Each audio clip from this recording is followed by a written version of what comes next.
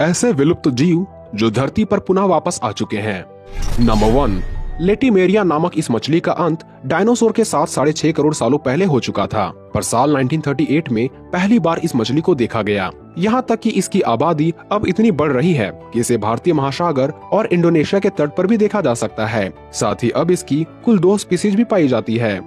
Number two फर्नांडीना island में पाए जाने वाले फैंटेस्टिक जाइंट टोर्टोइस को साल 1906 में विलुप्त मान लिया गया था, पर 1964 को लोगों को गैलापैगस में इस टोर्टोइस के पूप को देखने को मिला। पर जब लोगों ने विलुप्त हो चुके इस कछुए को साक्षात देखा तो वो खुशी से फूले नहीं समाये। नंबर थ्री, तस्मेनियन टाइगर को साल 1936 में आखिरी बार देखा गया था, और बेशक इसका जिम्मेवार इंसानों को ही बताया जाता है। पर साल 2016 में ऑस्ट्रेलिया के कई इलाकों में लोगों ने तस्मेनियन टाइगर को देखने का दावा किया और ये घटना साल 2018 और 19 में और भी बढ़ने लगी।